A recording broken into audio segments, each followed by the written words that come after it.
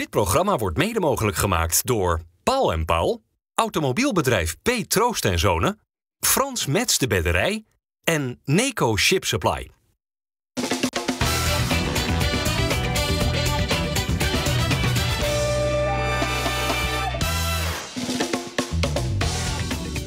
Goedendag allemaal, hartelijk welkom bij FC Rijnmond op deze maandag. Er gebeurt te veel en van alles rondom Feyenoord. Dus uh, ja, ga er maar eens goed voor zitten. We gaan het allemaal bespreken met Ali Boussabon, met Dennis Kalenburg en met uh, Robert Maaskant. Robert, is Feyenoord favoriet tegen Lazio Roma? Nou, geen favoriet, maar ook zeker niet kansloos. Hm. Had Excelsior niet zo hard mogen verliezen van Pek Zwolle? Nee, zeker niet.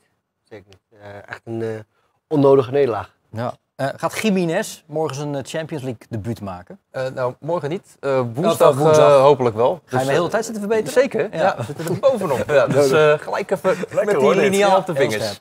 Ja, ik ga voor het eerst in mijn leven een uitzending presenteren met buikgriep. Dus misschien is dat dan gelijk de verzachtende... Een stukje, dat je daarin... ja. Succes, Ali. Ja, ja. hij is niet besmettelijk. Althans, niet op deze manier. Nieuws, althans, nou ja, het is een gerucht, maar Fabrizio Romano, een serieus te nemen voetbaljournalist in Europa, die meldt het nu ook, Dennis, dat Marino Puzic, een van de assistenten van Arne Slot bij Feyenoord, uh, op de korrel staat bij Shakhtar Donetsk. Ja. Wat, wat, wat is er aan de hand? Uh, ja, hij zou dus daar op de lijst staan. Uh, Shakhtar zou Feyenoord zelfs benaderd hebben om hem los te weken als mogelijke nieuwe hoofdtrainer. Patrick van Leeuwen, die ook in het verleden bij Feyenoord heeft gewerkt, was daar tot voor kort hoofdtrainer. Hij is ontslagen. En dan zoeken ze dus een nieuwe trainer. En ja, dan zegt Fabrizio Romano nu dat ze dus uh, bij Feyenoord hebben aangeklopt om hem uh, los te weken. Ja, speelt Shakhtar de wedstrijden in Oekraïne of volgens in Polen? ja, volgens mij die competitiewedstrijden, wat ik net even heel snel zag, want dit kwam vlak voor de uitzending uh, binnen, spelen zij inderdaad wedstrijden ook in, in Oekraïne. Jeetje. Ja. Moet je dat dan willen? Om in een land in oorlog te gaan werken, Robert? Nou ja, ik heb altijd gezegd dat ik niet naar landen toe ga waar het niet, niet per se veilig is. Dus, maar goed, ik, ik ben ook in... Wit-Rusland heb jij gezeten? In Wit-Rusland geweest. Uh, dat had ik nu niet meer gedaan. Maar dat heb ik toen wel gedaan. Dat heeft natuurlijk ook wel met, uh, met financieel te maken. Ja. Uh, maar ik denk niet dat Pusic per se zich, hele weldenkende jongen, ik denk niet dat hij zich daardoor laat verleiden. Hij heeft ook dit jaar nog zijn contract ook verlengd hè, bij Feyenoord tot 2025. Dus hij ligt ook nog wel eventjes vast. En ik kan me ook voorstellen dat als jij in het kielzog van Arne Slot mee kan blijven gaan. Die staat ook ongetwijfeld op lijstjes bij topclubs in Europa dan hoeft het misschien niet Shakhtar Donetsk te zijn. Ben je daar misschien assistent bij misschien wel een grote Premier League club. Ja, maar zou Poes iets op eigen benen willen staan? Ja, dat is een uh, vraag die we aan hem zouden ja. moeten vragen eigenlijk. Wat denk jij? Ja, ik denk het wel. Ik denk dat er een, een mooie club voorbij komt. En, en, en ja, je kan een keer uh, die stap maken om het te proberen. Maar Shakhtar Donetsk, dat, is dat die mooie club, denk je? Dat denk ik wel, ja. Het is sowieso een mooie club. Financieel staan ze natuurlijk, uh, hebben ze natuurlijk heel veel te bieden. En spelen elk jaar natuurlijk Champions League. En dat is wat je als trainer eigenlijk, dat is de ultieme podium waar je waar je wil, uh, ja, waar je wil presteren. Maar zou je niet nog jaren gewoon lekker in dat spoor inderdaad van Arne Slot willen zitten? Misschien ook een keer eh, als assistent van Slot naar een grote club gaan en dan ook wel je centjes te verdienen? Nou, ik denk niet zozeer om de centjes, maar als je op eigen benen staat. Stel in, in, in het slechtste geval dat hij na een jaar wordt ontslagen. Dan staan de, staan de deuren nog steeds wagenwijd open om, om hem als assistent te hebben. Ook bij Slot? Natuurlijk ook bij Slot, dat denk ik wel. Ik denk wel, zij met elkaar gaan zitten en hij zegt tegen Arne, nou Arne, eh, ik wil graag de, ja, deze kans pakken. Dat Arne dat echt niet kwalijk gaat nemen. Weet je? En, en, en, en, en, in een geval waar, waar het de andere kant op valt, kan het zo zijn dat hij wel gaat presteren in de Champions League. Dat hij wel dat, eh, dat, eh, dat de ploeg uh, aan het voetballen gaat krijgen. Dan komt er voor hem misschien een mooie stap uh, daarna. Dus. Hoe, hoe, belangrijk is hij binnen die Wil technische staf? Ja, het is ook maar de vraag inderdaad of Feyenoord eraan mee wil werken. Hè? Want je ziet ook altijd als er gespart wordt langs de lijn tussen uh, de trainers. Ja, dan gaat dat heel vaak tussen Slot en Pusic. Ik was pas bij de oefenwedstrijd tussen Feyenoord en Excelsior op Varkenoord. Ja, en daar was Pusic echt de man in charge. Die was echt degene die uh, aan de lijn uh, te coachen. Ja, hij staat in de hiërarchie dan nog wel boven Hulshof dus, die ja. toch ook assistent is van het Nederlands elftal? Ja, ja, dat denk, ja, ik denk dat als je... Ja, dat vind ik lastig om dat in te schatten. Maar ik denk dat hij wel net iets meer de, de eerste assistent, als je het zo zegt. Ik denk, ik denk, ik denk dat, dat ze elkaar ook heel goed aanvullen qua karakters. Dat denk ik ook, ja. Uh, Positie is toch wat een, wat, wat een fellere persoon, hè. kan je, kan Robert denk ik ook wel beamen. En, en Arne is toch wat, ja, wat, wat, wat, maar alleen wat minder, laten we zeggen. En, en ik denk dat ze elkaar heel goed aanvullen. Uh, heeft zijn, zijn mogelijkheden al gehad als hoofdtrainer bij Twente. Twente. Ja. En heeft natuurlijk ook al een, een, mooie geschiedenis bij meerdere clubs. Ik heb hem op een gegeven moment proberen te halen naar, eh, naar Almere City, toen ik daar technisch directeur was. Toen waren we eigenlijk al bijna rond. Een jongen met enorm hoog voetbalniveau, uh, die daar heel goed over nadenkt, tactisch heel sterk. alleen toen was hij op zijn vakantieadres. En eh, Robert Eenhoorn en Max Huibers stapten in het vliegtuig en vlogen naar zijn vakantieadres toe. En toen waren wij kansloos. Om hem bij AZ te, te Eh, en toen is hij naar AZ toe gegaan. Wat, wat overigens een volkomen logische keuze was toen die tijd. Maar ja, wij waren er wat minder blij mee. Ja. Eh, dus ja, ik nogmaals, ik denk dat dat, dat helemaal geen, geen optie is voor. Nee, nou ja, en het is ook nog maar een voetbalgerucht, maar wel een serieus te nemen. En het kan zomaar zijn dat over een paar uur dit hele gesprek volkomen zinloos is geweest. Ik maar heb hem net geappt. alweer. Dus, Oh, je hebt hem eh, net ik, zit, geappt? ik zit nog te wachten. Heb je je telefoon aanstaan? Ja, hij, staat, hij ligt naast me. Dus als je wat hoort, dan eh, wil je dat ook wel direct met ons delen, neem ik aan. Hè? Dat ligt eraan wat hij stuurt. Ja. Te- te- tegen Vitesse wist je weer vrij snel zaterdagavond. Dit gaat weer geen enkel probleem worden. Nee, maar Vitesse is denk ik ook geen maat voor Feyenoord op dit moment. Ik moet zeggen wie dat dan ik, wel? dat ik eh, PSV. PSV. Ja, en verder? Nou, Twente kan dat zijn. Ja, dat gaan we komend weekend zien. Dus er zijn, eh, zijn. ja, AZ. Er zijn er wel een aantal ploegen die, eh, maar dat geldt natuurlijk voor die, voor die top 5 die zich echt aan het afscheiden is van de rest. Eh, en wat niet wil zeggen, Feyenoord heeft natuurlijk die eerste twee wedstrijden ook al punten verloren. Ja. Hoe lang gaan ze dat dus eigenlijk dat nog achtervolgen, denk je? Nou, dat, kan best, dat kunnen best hele dure punten zijn. Als je kijkt naar hoe die andere ploegen allemaal presteren. En dan krijg je altijd weer terug hè, van ja, maar die hebben weer tegen andere ploegen gespeeld. Ja, dat begrijp ik allemaal wel. Maar dit waren natuurlijk ook niet eh, de wereldkampioenen waar ze punten tegen verloren hebben. Sparta en gaat PSV ook niet alles winnen. Die gaan niet 34 wedstrijden achter Nee, elkaar. Nee, maar dat geldt natuurlijk voor Feyenoord dan ook. Ja. In, die, in diezelfde redenatie zou dat ook gelden. Ik moet, wat ik wel moet zeggen, dat ik enorm genoten heb van eh, de directe lijn naar de goal toe. Eh, we zijn in Nederland nogal eens gewend om maar te breien. En, en om te voetballen om maar balbezit te houden. Nou, ik ben daar zelf niet zo voorstander van. Maar als je kijkt naar hoe Feyenoord de goals maakt met direct proberen door het centrum te komen. Dat is echt een spelprincipe van slot ook wel. En met lopende mensen achter de laatste lijn door, waar ze twee keer door scoren. Ja, ik zie dat heel graag. En dat, tegen iedere tegenstander kunnen ze daar de doelpunten maken. Ja. Ja, want daar hebben ze ook de spelers voor. Hè? Nou ja, Kelvin Stengs, die, die, Ja. die steekt natuurlijk bovenuit zaterdag. Is hij de meest sierlijke speler van Feyenoord van dit moment? Ja, dat denk ik wel. Ja. En hij is ook een speler die daar gevoel voor heeft. Als hij naar binnen komt, zoekt hij altijd de bal, eh, laten we zeggen, tussen de linies. Om de spits in te spelen of, of iemand te steken. En wat Arne Slot dat, eh, wil zien, en wat je ook ziet bij de spelers, die zijn er onderweg. En dat is niet te verdedigen. Dus als, als de bal ingespeeld wordt, zie je dat middenvelders zijn onderweg of in de diepte of als derde man eronder te komen. Of vervolgens in de kleine ruimte. Maar dat gevaarlijk te diepgaan, worden. dat, dat heeft hij zichzelf echt aangeleerd de laatste Ja. tijd. En hij is ook eh, goed eh, en behendig in de kleine ruimte. Ja, maar we, we hebben gezien wat hij, wat hij, eh, wat- waar hij toen in staat is in de Eredivisie bij AZ, hebben we het al gezien. En, en nu zie je dat hij, dat hij steeds meer in zijn ritme gaat komen. eh, eh, eh, gaat wennen aan de manier van spelen wat Arne wil. Dus ook meer diepte en soms wat meer direct te spelen. En het is gewoon een hele intelligente speler en technisch heel vaardig. Hij wel de, de kwaliteit om die ballen daar neer te, neer te leggen. Het Trainer- vertrouwen van zo'n trainer, die, dat doet ook natuurlijk wat. Hè? Want hij krijgt niet alleen het vertrouwen van Slot, wordt ook nog eventjes op het laatste moment bij het Nederlands elftal eh, gehaald. Ja. Dat werkt natuurlijk ook wel mee. eh, Dat geeft moraal. Ja. Trainer Arno Slot over eh, de ontwikkeling van Kelvin Stenks. Ik heb eerder met Kelvin gewerkt en eh, toen hebben ook heel veel supporters destijds in Alkmaar kunnen genieten van, van, van hele mooie acties en van hele stijlvolle acties en mooie steekbasis. Maar toen leidde dat nog niet tot het rendement dat het in ieder geval op dit moment eh, leidt. En die stap heeft hij gemaakt en heeft hij vooral gemaakt omdat hij ook wat meer venijn heeft eh, in de laatste fase. Dus ook wat vaker de 16 aanvalt. Zorgt dat hij erbij zit. Maar ik vind ook dat hij zonder bal goede stappen maakt. Want ik vond dat hij vandaag zeker in de eerste helft eh, de aanjager was van ons, eh, van ons drukzetten. Ja, Stenks viel op. was wel een emotionele avond voor, voor hem. hè. Hij, hij scoorde die 1-0, was Ja. in tranen, privéomstandigheden. Ja, dat is natuurlijk triest als dat soort Ja. dingen eh, meespelen. Ehm, ja, ik weet niet of wij dat moeten Nee, gaan wij uit niet doen. leggen Gaan wij wat, niet eh, doen. wat er is. Gaan we Maar dat niet maakt doen. ook dat maakt de prestatie weer knap. Ja, Ehm, zeker. Moet hij nou tegen Lazio eh, hangend op rechts gaan spelen zoals tegen Atletico of lekker op 10 laten staan, die Kelvin Stenks? Ik, ik zou hem op eh, rechts laten spelen. En ik zou het middenveld versterken met uh, Zerouki. Zoals bij Atletico. Zoals bij Atletico. Ik Ja. denk dat je dat nodig hebt. Ook uh, stug Italiaan natuurlijk. Hè. Wat, wat meer fysiek nodig. En die gaan er ook straks ook op knallen. Daar staat Lazio ook bekend om. En, en Stenks is toch wel iemand die zich kan laten zakken. En, uh, en, en, en de backs willen meestal niet echt doordekken. Hè. Er komt een bepaalde. Uh, wordt ongemakkelijk voor ze. En, als hij de binnenkant pakt of hij zakt, zakt uit, heeft hij de kwaliteit om vanaf daar gevaarlijk te worden. En als, de, als, de, als de back dan doordekt, heb je natuurlijk geen mensen die daar ook in kan duiken. En dan aan de case moeilijk gaan maken. Dan moet gaan, gaan kiezen. Het klinkt een beetje als uh, de analyse die ik vandaag op Rijnmond.nl heb gelezen, die, uh, die je voordraagt. Nee, die zei iets anders. Oh, Jenny, wat? Ja, nee, volgens mij niet. Die zei op voorzet had hij het over. Ja, dat, dat, dat, dat ja. is, kan een wapen gaan 100%. zijn. 100%. We ja. hebben een spits die dat, die dat heel, goed, uh, heel goed kan. Ja. Jiménez. Eh Stengs had een goal en een assist. Dat gold ook voor Jiménez, die wel van het veld moest, geblesseerd en wel. Ja. Eh, werd een tik. Kreeg, ja, hij kreeg een schop. Ja. een smerige tikken inderdaad. Ja. Ja. Het is wel het verschil wat Arne Slot ook aan af, eh, na afloop van de wedstrijd aangaf. Je kan beter een tik krijgen, daar heb je daar uiteraard ook wel last van. In plaats van dat je ergens doorheen zwikt of zoals Minte, Minte naar je hamstring grijpt. Maar hoe zijn nu die zorgen rondom hem een paar dagen later? Ja, nou, hij liep zelf van het veld af en eh, dat is natuurlijk al iets, eh, iets positiefs. Hij had er wel echt wel flink last van. Hij bleef ook wel een tijdje op de grond liggen. Maar eh, ja, de verwachting is wel dat hij er wel gewoon bij is. Dat Maar je, zag wel dat ze, maken. je zag wel dat ze enkel een beweging maakte. Hè? Dus het is niet alleen een tik. Je zag wel dat hij even... even Ja, dat dacht ik ook, ja, Ja, Ali. dat ik, hoorde, ik hoorde inderdaad heel veel mensen maar praten over een tik. Maar Ja. ik had ook het idee dat ze een enkel eh, Ja, iets, klopt. iets dit maakte. Ja, 100%. en dan krijg je, hoe je het ook went of keert, toch een tik op je banden. Dan zal die goed gezwachteld zijn en getaped zijn. ja, maar dat gaat, dat gaat zo hard. Ik heb het ook Ja. meegemaakt. Dat is zo pijnlijk. Omdat jij... Je zit in een bepaalde beweging. En je voet staat letterlijk... Je hebt net geschoten. Dus je, je standbeen staat voor in de grond. En op het moment... Het geluk wat hij eigenlijk heeft... Is dat hij, dat hij nog mee kon glijden. Hij was een beetje los. Hij was Ja, van was een beetje los, Ja. ja. Want Ja. Hij, hij, hij kreeg hem echt vol. Met Ja. het volle gewicht van, eh, van de verdediger. Ja.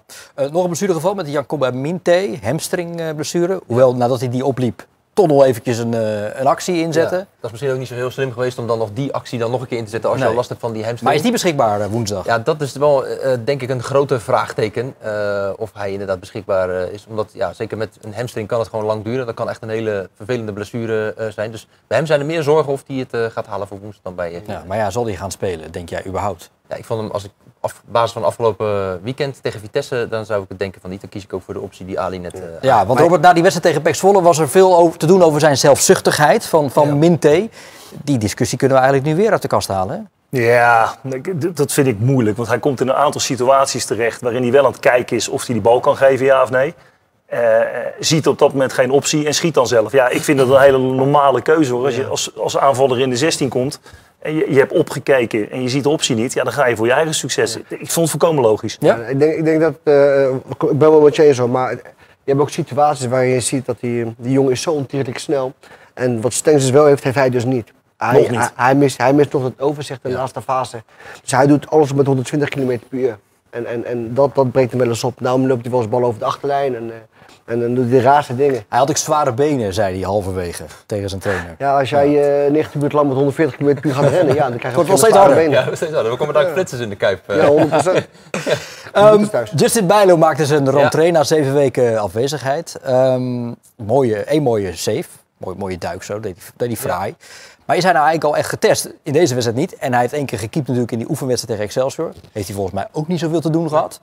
Dus ja, hoe klaar is hij? Nou ja, kijk, hij heeft natuurlijk wel gewoon die hele periode meegetraind. Hè? En er wordt nu heel goed eh, gekeken bij hem eh, eh, naar de belasting ook van, ja, van zijn pols. Ja, en ook hoe dat uiteindelijk met de pijn, of hij daar nog pijn aan heeft en hoe, hoe dat uiteindelijk begeleid moet worden. Dus hij is wel echt wel heel fit, omdat hij dus ook gewoon voetballend heeft mee kunnen trainen. Wat ook voor zijn ontwikkeling als meevoetballende keeper alleen maar weer, weer goed is. Maar ja, hij heeft niet heel veel te doen gehad. Eh, Behalve dat ene moment. behalve dat ene moment. Ja. Eh, maar als hij niet fit is, dan heeft hij inmiddels de ervaring ook wel dat hij eh, eh, zelf aan kan geven met eh, de medische staf dat dat inderdaad niet kan. Dus als het niet kan, dan gaat het niet. Maar hij is er echt wel klaar voor. Doe je op de fitheid of, of, of, of eh, de spelritme? Nou, hebben keepers dat nodig, ritme? Nou, dan, dan, dan, dan vraag ik het ook af.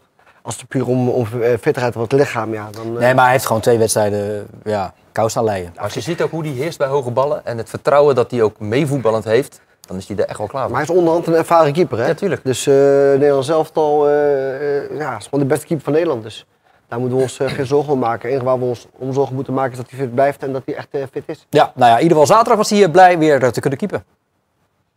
Ja, het voelt als thuiskomen. nee, het was eh, weer een heerlijk gevoel om, eh, om een wedstrijd te mogen spelen. Hoe heb je die afgelopen periode beleefd? Eh, ja, het was geen eh, leuke en fijne periode, maar eh, ik denk dat ik me uiteindelijk wel gewoon eh, een plek heb kunnen zetten en gewoon weer opnieuw eh, ben gaan eh, eh, begonnen. En met de steun van iedereen om me heen. Het moet wel fijn zijn dat je een trainer hebt die ook gewoon onvoorwaardelijk achter je staat. Hè? Ja, dat is eh, heel lekker, ja. Ja, laat hij fit blijven, Robert. Ja, nou, ik heb er vorige keer wat over gezegd. En toen werd heel, heel veel mensen zijn heel boos geworden daarop. Ik heb geen social media gelukkig. Dus Hoe dat kan je nou boos worden op jou? Ja, dat snap ik ook niet. Nee. Maar ik vind Bijlo ook een uitstekende keeper. Eh, maar ja, zijn fitheid is wel gewoon een, zorg. En eh, in dit geval ging het over het Nederlands elftal. Eh, maar ook voor zijn eventuele transfer als hij dat wil maken. Ja, buitenlandse clubs kijken wel van, gaan we een keeper halen? Een keeper moet wel je echte nummer 1 zijn als je die gaat halen. En als die veel geblesseerd is, dan moet je al rekening gaan houden in je budget dat je ook een hele goede twee hebt als keeper, als backup, die daar ook nog mee om kan gaan. Nou, Brighton doet dat dan nu. Ik eh, wil dat zeggen, in de Premier League eh, gebeurt het wel Ja, af en toe dat keepers gaan, eh, dat ze gaan Ja, roleren met En dat zou, dat zou wel eens een trend kunnen worden, dat je dat doet. Ja. Ik heb het zelf een keer gehad met Jelle Terouwela en Jim van Vessem. Maar dat was in de voorbereiding. En dat, daar zaten Europese wedstrijden in toen, nog in die voorrondes. Maar daar, daar was Terouwela toen niet blij mee hoor. Eh, dat Van Vessem in de goal ging. Hm. Eh, ja, ik vond het dan ook niet onlogisch. Maar in Nederland kiezen we heel vaak voor één keeper. En daar, daar blijf je dan eh, achter staan. Slot ook. Die heeft ook, ook altijd uitgesproken. Bijlo is mijn eerste, Ja. eerste keeper. Feyenoord heeft ook volste vertrouwen in hem. Ze zijn in gesprek om zijn contract ook te verlengen. Nou, terecht En, ook. Ik bedoel, hij het is een uitstekende keeper. Ja, en de verwachting is het ook, wel, dat gaf hij zelf ook aan. Maar dat daarmee zegt snel ook-. Ja. Maar daarmee zegt toch niks verkeers. Als je zegt van zijn, eh, zijn fitheid, dat is misschien een vraagteken, omdat hij hè, wel nu al een aardige lijst heeft qua blessures. Er is toch niks mis mee om dat, om dat te benoemen. De 4-0 lijkt mannen, mij. werd gemaakt door Anthony Milambo, 18-jarig eh, talent. Middenvelder, je begint dat te lachen. Ja, ik vond het een lekker goaltje. Ja.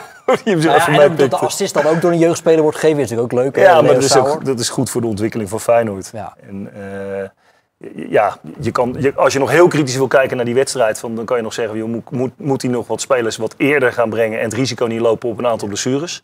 Nou, geef eens Eh, antwoord op die vraag. Ik denk dat je dat als Feyenoord op dit moment al kan doen, ja. Ik, ik denk dat Feyenoord dusdanig ver is kwalitatief, dat je in de loop van het seizoen, en dat ga heeft natuurlijk te maken, ga je kwalificeren voor de volgende ronde Champions League, ja of nee, maar die Europa League zit er dan ook nog aan eventueel. Eh, ja, dan mag je best in de wat tussen haakjes kleinere wedstrijden eh, beslissen om eerder te wisselen. En ook andere jongens de kans geven om zich te laten ontwikkelen. Ja. Maar in dit geval, ja, mooi dat die gasten erin komen voor, voor Feyenoord. En dat, dat dat ook eindelijk weer een keer gaat gebeuren. En dat ze dan ook nog betrokken zijn bij doelpunten. Dus Ja. dat maakt het extra leuk. Maar het kan ook nu, hè, met de breedte die ze hebben. Nu kunnen ze ook doorwisselen. Nu kunnen ze ook eh, de bank gebruiken. Waar we in het verleden natuurlijk hadden over dat de selectie niet sterk genoeg was. Dat de bank niet sterk genoeg was. Is dat nu natuurlijk niet het geval. Nou, er is volgens mij nog een verschil. Vorig jaar waren er best veel wedstrijden dat eh, Feyenoord met de hakken over de sloot Ja, wedstrijden uit het eh, Ja. vuur sle- eh, sleepte. Eens. En nu, eh, ja, de- nu weet je bij minuut drie, weet je, dit wordt weer een de eenvoudige overwinning. Ja. Maar die Milambo, wat voor middenvelder is het nou? Ja, de- eh, eh, sowieso iemand die zich goed ontwikkelt, ook in de Youth League. Hè, waar hij in die eerste twee wedstrijden ook al twee goals heeft eh, gemaakt, waarvan één eh, strafschop. Eh, wel iemand met eh, ja, veel dreiging naar voren, goed schot ook. En eh, ja, ook gewoon fysiek wel, eh, Mm. wel sterk. Hè. Dat, zag je ook, aardig, dat was ook in dat duel, uh, wipte hij hem nog aardig binnen. Eh, er wordt echt heel veel eh, van hem verwacht in de toekomst. Heb je Hartman nog gezien? Moest ik zo om lachen. Hartman heeft best wel weer wat gedoe over zich heen gekregen... omdat hij niet meezong met het Nederlands elftal eh, vorige week. Nou, waar maak je je druk om? Maar er zijn mensen die kunnen zich daar eh, druk om maken. Maar toen kwam hij het veld tegen Feyenoord, bij Feyenoord Vitesse. En toen- die hand in hand mee? Ja, een ander Feyenoord liedje ging hij eh, dat heel hard eh, meezingen. Dat is, Maar weer zo, serieus. dat is weer zo sterk. Maar, Ja. maar dit, dit, dit is de, de tijd waarin we leven. Je hebt Hartman. Die, die speelt voor het Nederlands elftal. Behoort samen met, eh met, met Reinders tot de beste mensen van het veld. En het enige wat jou eh, bij is gebleven is dat hij niet meezingt met de Volkslied. Ja joh, dan gaan joh, dan gaan. Wat nou te verwachten woensdag als eh, de nummer nood. 9 van de Serie A op bezoek komt? Ja. Wat denk je? Ik, denk, ik denk dat Feyenoord gewoon hun spel moeten spelen, maar niet naïef moeten zijn. In de zin van, dit, zijn, is wel een geslepen ploeg met een hele ervaren trainer. Die, ja, die, die, die heel goed compact kan spelen. Eh, en dan vanaf daaruit eh, eruit kunnen knallen. Ze hebben natuurlijk wel bepaalde wapens. Eh, eh, en en ja, dat moet je gewoon elimineren. En de Achilleshiel van Feyenoord is, als ze, als ze slordig zijn aan de bal, met de manier van spelen, dan komen er gewoon bepaalde ruimtes vrij. Waardoor je eh, ja, geslacht kan worden in de counter. Dus daar moet je echt eh, ja, Ja, Op letten. zal Slot nog even met Marcus Pedersen eh, hebben gebeld. Ja, van Sassuolo natuurlijk tegenwoordig. Hè. Won, eh, afgelopen weekend tegen. Ja. ze wonnen met 2-0, Lazio. Eh, maar dat denk ik niet. Dat eh, wordt altijd keurig gedaan door uh, Pusic eh, en door uh, Sipke Hulshoff. Die doen dat om en om.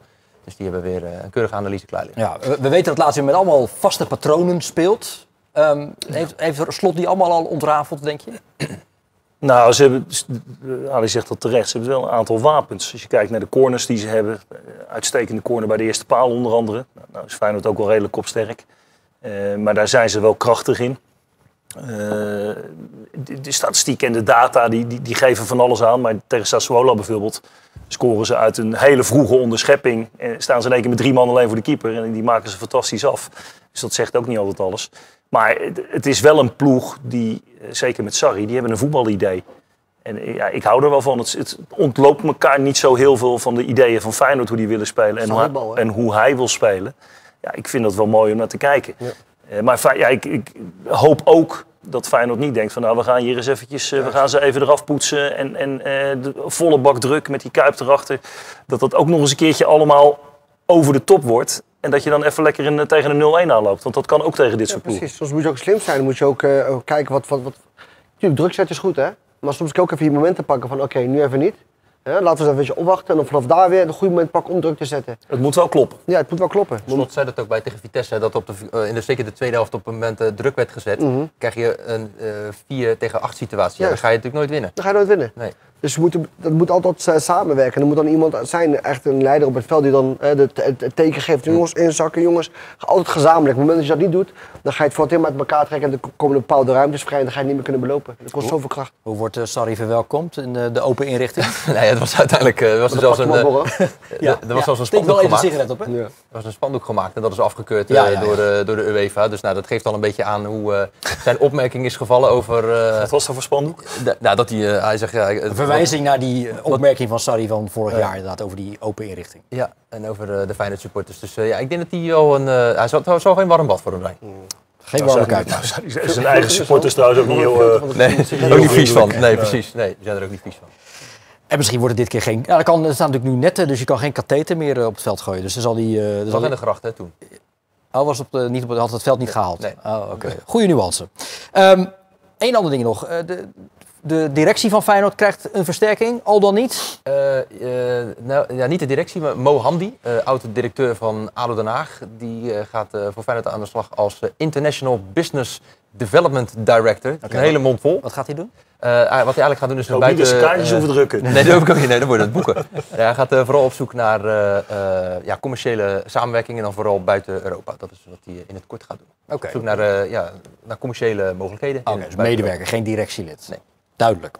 Eh, Sparta, op bezoek bij Go Ahead Eagles kwam niet verder dan 0-0 eh, gisteren. Verdiende die wedstrijd eigenlijk wel een winnaar? Eh, er waren twee, twee verschillende eh, delen in de wedstrijd. In de eerste helft was Sparta dominant. eh kansen gekregen eh, om voorsprong te komen. En eigenlijk was het de tweede helft precies de tegenovergestelde. tegenovergestelde. Ja. was Go Ahead Eagles die de overhand had en die kregen we de kans. Dus eigenlijk kun je, kun je spreken van een terecht gelijkspel. Met weer een hele goede Olij, hè? Och, wat was die weer normaal. Niet gewoon weer, eh, weer gewoon een hoop ballen te zeer aan te Ja, lachen. Ja, die is vind, normaal. nee, ik vind Olij echt wel een goede keeper. Maar ik vind wel, het is wel iedere scheet die die laat moeten we tegenwoordig eh, in de spotlight zetten. Nee, maar... Hij had toch ballen tegen, daar gaat het Nee, om. gaat- Nee, dat, ben ik met je eens. Nee, dat ben ik met je eens. En ik, wat ik Zeg zeg, ik een keer positiefs over een keeper, Nee. dat is weer niet goed bij je. Nee, nee, ik weet het. Maar het is wel, we moeten alles wel in, eh, in de spotlight eh, zetten. Ja, maar hij was eerlijk is eerlijk. Hij pakte echt een paar ballen, waardoor Sparta dus. Ja, gewoon 100%. Nee, daar weer een punt ja. Ik pakt. ben met je eens. Ja. Want anders ga je gewoon Hij, vergaas. hij heeft echt eh, eh, een punt bezorgd. Ja, maar wat is er mis met iemand zo bewieroken? Nou ja. Want hij, hij redt toch eigenlijk ook weer voor Sparta gisteren dat dat ben ik punt met in je die tweede helft. Nee, maar dat, dat ben ik ook met je eens. Maar ik hoor ook, eh, dan, op een gegeven moment komt er een bal recht op hem af. En dan is het net alsof ze zeggen van, nou, dit hebben we echt nog nooit gezien. Bal uit de bovenhoek, geweldige redding. Pakt er nog een paar, maar als die, ja, moet ook niet... Nou, eh, wel, want ik, ik heb wat mensen gesproken in Deventer die bij de wedstrijd geweest zijn. Hè, en, en die gaven ook wel aan van. Je ziet één dat Sparta gewoon heel rustig blijft continu. Dat hebben ze natuurlijk vorig seizoen ook gedaan, doen ze dit seizoen weer. Eh, maar dat hij vooral ook enorm gegroeid is als persoonlijkheid. Dat is natuurlijk ook Ja, logisch tuurlijk. met hetgene wat hem gebeurd is en hoe die bewierookt wordt. En ik heb geen verstand van keepers, dus dat scheelt ook. Dennis Hij is wel een topper. Laat hem lekker gaan hardlopen volgende week. die jongen. Die jongen doet het gewoon echt fantastisch. En eh, ik hoop dat hij het niveau nog lang kan volhouden. Ja, Dus, de eerste te helft, zoals gezegd, van Sparta was eh, bemoedigend, zegt ook de trainer. Ja, ik denk dat wij vooral de eerste helft gedomineerd hebben. En dat we dat, we dat eh, deden met vrij aardig voetbal. Afwisselend eh, eh, via de opbouw, via de flanken. Maar ook wel met de lange bal. waar, waarbij we steeds ook de tweede bal wonnen. Ja, in de tweede helft, zeker het laatste stukje, had Go Ahead denk ik wat meer de overhand. En liepen wij wat vaker terug. En eh, ja, hebben we te weinig eh, kunnen counteren en in, eh, in het omschakelmoment kunnen zitten. Dus ik denk al met al, als je die hele wedstrijd bekijkt, dat het wel een terechte 0-0 is. Alhoewel de eerste helft er anders uitzag. Oh, ja, je, je zit weer nieuws bij elkaar te Ja. halen. Wat is er? Nou, het schijnt dat, eh, we, eh, gelijk over Pusic probeert toch het een en ander nog eh, te volgen. Ja. Even uitleggen, want dat, dat nieuws kwam vlak Ja. voor deze uitzending binnen. Dat Pusic in de belangstelling staat van Shakhtar Donetsk. Ja, ja dat nou eens die... gewoon de weg op, man. Gewoon eens een keertje onderzoek als, als journalist. Ja, dat is nu, is gewoon live in de Oké. uitzending aan Ik kan nu, maar dan moet niet boekje, weglopen. boekje Boekje nou, dat zak, zou voor het beeld niet onaardig zijn. Nee. Bloot achter je oren. Ja. Ja, natuurlijk. En ze waren eerst zijn ze bezig geweest met de, de trainer van Jong AZ, Jan Sieriksma. Die heeft het aanbod afgeslagen na overleg met het thuisfront. En ehm, ja, hij zou nu dan de nummer 1 zijn. Ehm, en het zou natuurlijk kunnen, te maken kunnen hebben met die eh, overwinning van Feyenoord hè, hier in, eh, Hier in, eh, toen, met het 7-0. 7-0, ja. ja, zou kunnen. Oké, we waren bij Sparta gebleven. Eh, na die 0-0 bij Go Ahead. Tobias Lauritsen, die, die was wel weer gevaarlijk. Met name eerste helft, goede kopballen. Begint hij wel een beetje tegen die goal aan te tikken. Want de laatste keer was alweer op 27 augustus. Ja. Bijna twee maanden geleden. Nou, je weet, de spits hebben goals nodig. Ja. En eh, ik moet zeggen, hij komt in scoringsposities. Dat is ook natuurlijk heel belangrijk. Hè, dat je wel de kansen krijgt. En eh, ja, ik denk dat het gewoon een kwestie van tijd is dat hij, eh, dat hij er weer eentje of twee in prikt. Dat het gevoel weer terugkomt. Want de aanvoer komt nu van Negli en van Clement linksbuiten. Ja. Kijk, Koki Saito wordt natuurlijk nodig gemist. ja. Maar is Clement, is dat een goede invulling nu voor, aan die linkerkant? Het is niet de beste invulling. Eh, maar voor wat ze nu hebben, hij is wel een speler die, die, die wel creatief is, die wel wat kan creëren. En die wel oog heeft voor, eh, hè, voor, de, voor de voorzet, voor de, voor de 1-2. hè. Die kan ook wel een man voorbij komen. Dus eh, ja, de beste oplossing, oplossing op dit moment. Ja. Ik zou trouwens dat ze niet alleen Saito eh, missen, maar natuurlijk Van Krooi eigenlijk ook. Maar die, die, die is Ja. vertrokken. Die is, Even- die is weg. Die is weg. Even nog een vraag aan de trainer. Gisteren, Rijsdijk wisselt in die wedstrijd bij Go Ahead. Maar één keer. Alleen Briem wordt gebracht. Verder helemaal niet. Terwijl het staat 0-0. Hoe kijk jij daarnaar? Nou, dan zal hij zijn sterk zelf al hebben, hebben laten staan. Dus ik vind dat niet onlogisch. En op het moment dat de wedstrijd loopt zoals die loopt, ja, er was ook geen aanleiding om daar, eh, om daar hard in te grijpen. En hij zal ook zijn bank op dat moment niet iets extra's hebben gevonden, waardoor hij denkt van nou, daar ga ik die wedstrijd mee kantelen. En dat, de volwassenheid van Sparta, want die is natuurlijk ook vorig jaar wel meegenomen. Waar ze, nee, je noemde net Van Krooij al, die maakt natuurlijk wel eens uit het niks ook een doelpunt. Eh, ze zijn wel zo volwassen dat ze ook rustig blijven, continu. Tegen wie ze ook spelen. Eh, ja, dat vind ik knap. Het, is, het zit goed in elkaar. Ja. Is het net zo goed ook als vorig jaar? Eh, nou, qua resultaten sowieso niet, denk ik. Hoewel ze nog steeds eh, heel aardig meedraaien. Steeds, maar dat heeft ook wel met die, met die spelers te maken die net iets extra's hebben. Ja. weet je, als, je, als je die kleine dribbelaar mist en, en je mist Van Krooi, ja, dat scheelt al wel een stuk. Eh oude Sars er niet meer bij, die bracht natuurlijk ook heel veel. Die speelde niet altijd meer aan het einde van het seizoen. Ja. Maar die bracht natuurlijk ook wel heel veel ervaring met zich mee. Dus ik denk dat het een iets minder. Het is op dit moment een elftal wat zich nog beter kan ontwikkelen dan het elftal van vorig jaar. Ja, Noord- Noordi Bukari zegt ook, hij zei, we zijn gewoon doorgegaan met de lijn van, eh, van vorig jaar. Dat zijn we gewoon op, op verder gaan bouwen en, eh, en het werkt, het gaat, eh, het gaat goed. Ja, misschien kunnen ze dan ook de hoofdtrainer van, van vorig jaar weer terughalen binnenkort, of niet? Nee? Is het flauwe grap dit? Flauwe trainer? Ik mocht Stijn niet noemen hier, dus eh, want dan ging het over Van? Ajax. Van wie niet? Nee, onzin. Nee, maar ja, goed, het gaat in alle programma's al over de situatie bij Ajax. Proberen wij een beetje van eh, weg te blijven. Ja, dat is geen eh, Rotterdamse trainer. Hè? Nou ja, tot vorig jaar wel. En, Ja. we, en we wensen hem het allerbeste vooral. Er is ook helemaal geen reden voor, want het gaat met die Rijsdijk, die trekt die lijn toch goed door. Ja, het gaat goed en eh, mocht het zo zijn de, eh, dat, dat het zo ver komt, dan, dan, dan zien we het dan wel. Dus uh, Stijs is nu bij Ajax en, eh en Rijsdijk doet het eh, aardig bij Sparta samen met Absoluut. Bukari. Zeker weten. En Foukeboy. En Foukeboy inderdaad, ja, dat is mijn oude trainer Ja? bij Utrecht, ja. We gaan naar Excelsior. Want gezien de resultaten van de eerste 2,5 maand in de Eredivisie... zagen maar weinig mensen een nederlaag van Excelsior thuis tegen Zwolle aan- aankomen. Wat gebeurde daar in die tweede helft? Ja, het was bizar. In de eerste helft was... eh, in de eerste tien minuten ging het nog gelijk op. Eh, en daarna nam, nam Excelsior het over. Goed voetbal, eh, goede druk erop zettend. eh Pek die er niet uitkwam. eh, kansen gecreëerd. eh, en op, uiteindelijk op 1-0 gekomen. En vervolgens in de tweede helft een compleet ander Excelsior. Dan nog hebben ze drie momenten gehad waardoor ze, waar, waar, waar ze op 2-1 hadden kunnen komen. Geen gebruik van gemaakt. En vervolgens eh, scoort Peck. En daarna was Excelsior het helemaal kwijt. Ja, Namli, hè, waar ze niet echt een grip op hadden bij Excelsior. Nee, nee, kijk. eh, eh, vooral in de eerste helft. Kijk, je weet dat Namli eh, eh, een hele goede linkerbeen. En je weet, die wil altijd naar binnen. En Hij scoorde met rechts. Hij scoorde met rechts inderdaad. De bal wordt nog geraakt onderweg. En ik zei nog voor de, voor de, voor de wedstrijd, je moet eh, de linkerbeen afdekken. Vervolgens scoort hij met rechts. Ja. Nou, maar dat is, dat, dat, is, dat, is, dat is het meeste gevaar. En als hij naar binnen komt, dan kan hij gaan uitzoeken. Dan kan hij gaan scoren. Hij scoorde in de eerste helft bijna twee keer. Ja. Dus eh, ja, ze hadden op een gegeven moment geen vat op. En na, na de 2-1 van, eh, van de 1-2 van Peck, ja, waar was het bij Excelsior helemaal kwijt. Ja, en dat komt dan ook, Dennis, omdat, althans dat zeggen ze bij Excelsior, El Jacoubi dan niet meer op het middenveld gaat staan, maar centraal achterin. Ook omdat Nieuwpoort niet een hele wedstrijd kan eh, spelen, Seymour natuurlijk geblesseerd is. En dan zeggen ze, ja, dat is eigenlijk nu op dit moment een zwaktebod voor ons. Maar hoezo dan? Die jongen is toch gewoon jarenlang centrale verdediger geweest? Ja, maar je, om, je mist zeg maar degene die eh, op het middenveld bijvoorbeeld dan ook doordekt. Hè. We hadden het ook voor de uitzending al, eh, al over. En wat je bij hem ook wel merkt, dat zei hij na afloop ook eh, tegen mij. Hij was helemaal niet zo blij met die omzetting eh, van zijn trainer. Hij baalde. Hij, hij maakte echt wel wat, eh, wat gebaren ook. Hè. En, want hij zegt ook van ja, ik had het gevoel dat ik wel lekker in de wedstrijd zat.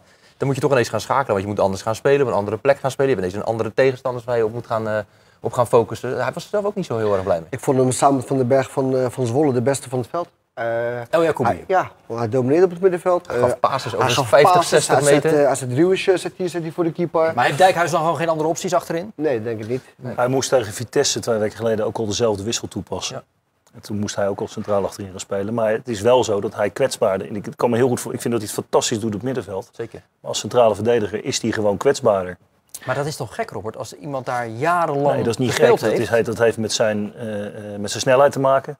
Eh, met de manier van dekken. Op, op middenveld kan je toch op een andere manier dekken. Daar is het ook ietsje minder erg als jij een duel aangaat en iemand draait een keer bij je weg. Ja, dat is wat minder paniekerig dan dat er nog eentje achter je komt. Hè. En ik vond Excelsior eh, enorm naïef nadat ze... Of na, na- het was niet eens naïef, het was gewoon slecht. Ze lieten zich wel heel erg makkelijk afdrogen na die, het na die goal goals. ook- ja, maar die derde goal ook van, eh, daar zag je dat El Jacoubi, de voorzet werd op een gegeven moment, eh, of de, de, de paas werd gegeven. Daar was Horemans echt gewoon, die stond verkeerd. De voorzet werd gegeven, de assist uiteindelijk. En El Jacoubi was zijn man gewoon helemaal kwijt. Die, die staat echt Ja, verbaasd wat- te kijken wat, dat hij erop duikt. Wat, wat mij, wat mij eh, vooral, eh, wat ik echt ongelooflijk vond, eh, er was dus er werd 1-2 gemaakt en de bal die werd naar de zijkant gespeeld, naar de, hoe heet die, die Falanas. Die, spits, en, Juist, en die, en die ging eerst met volle snelheid naartoe. Op dat moment was Lennartie al onderweg. En, en, en, en, en Koremans, die ging niet sprinten, maar die ging gewoon, laten we zeggen, op, op 40% liep hij terug. Als je gewoon sprint, staat hij weer aan de binnenkant, er is niks aan de hand. En die bal wordt gegeven. Ja, die beleving En, en, en, en moet je er komt de voorzet en, en dan, ben je, dan ben je weg. Maar het, het grote verschil met Jacobi op in het middenveld is... er is iemand die het neerzet. Eh, eh, je zag op een gegeven moment toen hij naar de laatste linie ging... dan zag je dat ze op het middenveld, de, de spelers van PEC... konden, eh, die liet zich inzakken, konden aannemen, konden opendraaien... konden gaan uitzoeken. In de eerste helft is dat niet gebeurd. Omdat hij continu de jongens het neerzetten was... en continu ook zelf doordekte. Stond het gewoon veel beter. Wel weer lekker goaltje van Parrot. Zo. Ja, dat wel. Ja. Ja. Eh, is die niet een keer eh, rijp voor Nou een ja, dat, dat, dat zal Dijkhuizen zich ook ongetwijfeld afvragen. Als je Ja. iedere keer een speler erin brengt die een goal maakt, Dit was de derde keer al. dan ga je wel een keer nadenken over, nou, zou hij een keer moeten starten. Adriaan Fiotis kreeg, kreeg heel veel ballen in de 16. Je hebt ook al een maand niet meer gescoord, hè? Heeft hij, heeft hij echt heel weinig mee gedaan. Eh, acties van drieways, dat hij, de- dat, hij, dat hij een goede voorzet geeft in de 16 meter. En dat hij, ik weet niet wat hij probeerde, hakjes en weet ik veel allemaal. Terwijl een spits zijnde wees sterk draai weg en schiet. Of wacht op de, een derde man die je aan kan Maar wat denk jij, hoe lang kan hij nog om die Parrot heen dan? Nou, ik denk dat je, dat je de volgende wedstrijd ook kan gaan wisselen. Heel simpel. Ik ben, ik ben zo van, nou, laat je het niet zien. Heb je iemand op de bank die presteert, moet je, hem- moet je hem de kans geven. Tegelijkertijd heeft Akraviotis er wel vijf gemaakt. Hè? Ik bedoel, kom daar eens om als Ja, maar spits de- bij Excelsior. Bij Excelsior, zeker. Ja, ja. Maar ja, op het moment dat je er eentje hebt die er altijd in komt en altijd scoort, kan je Juist. zeggen, aan de ene kant, prima, ik hou het lekker zo. Aan de andere kant, ja, dan moet hij ook wel een keer een kans krijgen. Ook, ook voor de scherpte van je groep. Robert heeft natuurlijk heel veel ervaring als trainer. En, en je weet zelf, als jij een, een, tweede spits heeft. eh, eh, de eerste spits, de spits heeft er vijf gemaakt. Maar op een gegeven moment heeft hij een paar weken niet gescoord en hij speelt niet goed. En, eh, en de, de, de, de, de, de reservespits die doet het wel. Nou, wanneer ga je hem dan laten spelen? Ja. Snap je? Dat komt een moment. eens. Wat wel meespeelt ook is bij hem, Agrafiotis in dit geval, ik wijs naar het scherm achter eh, Bart, ehm, is wel dat hij heel erg het vertrouwen nodig heeft. Het is een hele timide jongen. Ja, het kan ook wel voor hem juist het teken zijn dat als hij er dan uitgaat, dat hij dan uiteindelijk helemaal het spoor wel weer bijstelt. Ja, maar de, niet de gemaakt staf, is, staf is van Excelsior is goed genoeg. En die, en die club is ook niet in paniek. Dus Nee. die, die zijn goed genoeg om zo'n jongen op Dat is te het lekkere vangen. van Excelsior. Juist. Het is Jongens, moeten wij niet wat meer eh, waardering ook eh, gaan benoemen voor eh, Julian Baas? Die, hij scoort gisteren. Eh, hij had ook nog een assist. Eh, uitverkoren voor Jong Oranje, waar hij niet speelde. Maar eh, hoe sterk oogt hij op dit moment? Ja, je ziet dat, die- dat is altijd mooi om te zien dat eh, spelers die op een gegeven moment, nou, nou, Jong Oranje, heb dat een en ander meegemaakt. Op een privé-vliegtuig had hij het over. En, Ja. ja. ja, heel leuk. Echt een topinterview. En dan zie je toch dat er vertrouwen nog van afstraalt. Die jongen, die lo- die jongen loopt als een veld hier over het veld. en Doet zijn ding. eh verdedigend ook. Kaart, kaart werkend. Maakt een goal. Met, volgens mij met zijn wang. Voor in. Ja, soort van, ja. Ja. ja, ja. Dus eh, ja, ik vind dat mooi om te zien. En eh, goed voor Excelsior natuurlijk. Hè, dat zo'n jongen, die gaat naar Jong Oranje. Die maakt dingen mee die hij bij de club niet meemaakt. Hoog niveau. Hij, zei, hij gaf ook aan, eh, hier hebben we een groot positiespel, daar is wat kleiner. Hier trainen we lang, daar trainen we explosief. Dus die jongen, die maakt een ontwikkeling mee. Die ziet de andere kant van het voetbal. Ja. En dat is heel goed voor zijn En ontwikkeling. je ziet ook in zijn ontwikkeling gedurende de tijd dat hij ook wel steeds stappen blijft Ja. maken. En pas geleden was er een wedstrijd, weet even niet meer, ik dacht tegen Sparta. En toen was hij echt kapot. En dan zeggen ze ook, als hij moe is, Juist, dan is de tank echt leeg. juist, precies. Ja, het, het, het is wel een, een aardig verhaal. Toen hij een paar weken geleden werd geselecteerd voor eh, Jong Oranje. Toen had hij 's ochtends meegedaan aan een voorleessessie op een school. Vervolgens meldde hij zich bij eh, de club, werd hij een kantoortje ingeroepen. En toen zei ze, je bent geselecteerd voor Jong Oranje, je moet gelijk vertrekken. Toen ja, had hij eigenlijk gelijk stress. Dan probeer je je familie te bereiken en eh, in eerste instantie namen ze niet op. Dus eh, ik heb maar een appje in de groep gestuurd van ik kom nu naar huis en ik ga mijn spullen pakken. Maar dat is natuurlijk eh, ja, een hele eer om daarvoor opgeroepen te worden. En ik ben ook trots dat ik erbij heb gezeten en ik hoop dat het niet de, de laatste keer was. Mooi is dan wel, dan word je opgeroepen. Je krijgt dan inderdaad nog geen familieleden te pakken. Uh, dus stuur je een appje, je gaat naar huis om spullen te pakken en dan ga je weg. En kom je erachter dat de helft nog thuis ligt. Ja, ik ben inderdaad een aantal dingen vergeten. Gelukkig uh, geen uh, voetbalgerelateerde dingen. Want, dat, Wat wel dan?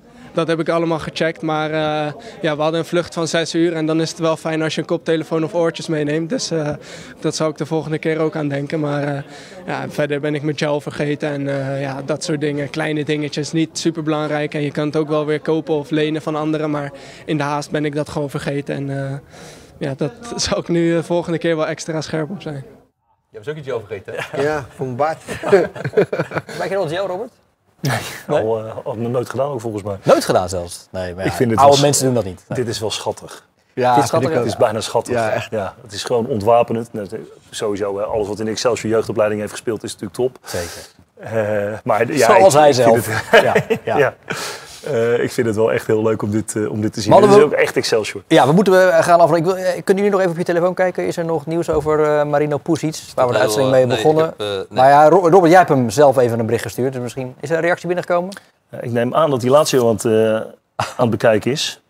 Maar geen antwoord dus. hij heeft nog niet op zijn telefoon gekeken. Oké, okay, nou dan sluiten wij deze uitzending af. Ali Boesebon bedankt. Dennis, Robert, tot snel weer. Um, Woensdag natuurlijk alles over uh, Feyenoord tegen Lazio. De wedstrijd die om kwart voor zeven begint en bij ons op de radio te volgen is. Vrijdag zijn we er met FC Rijnmond. Tot dan, dag.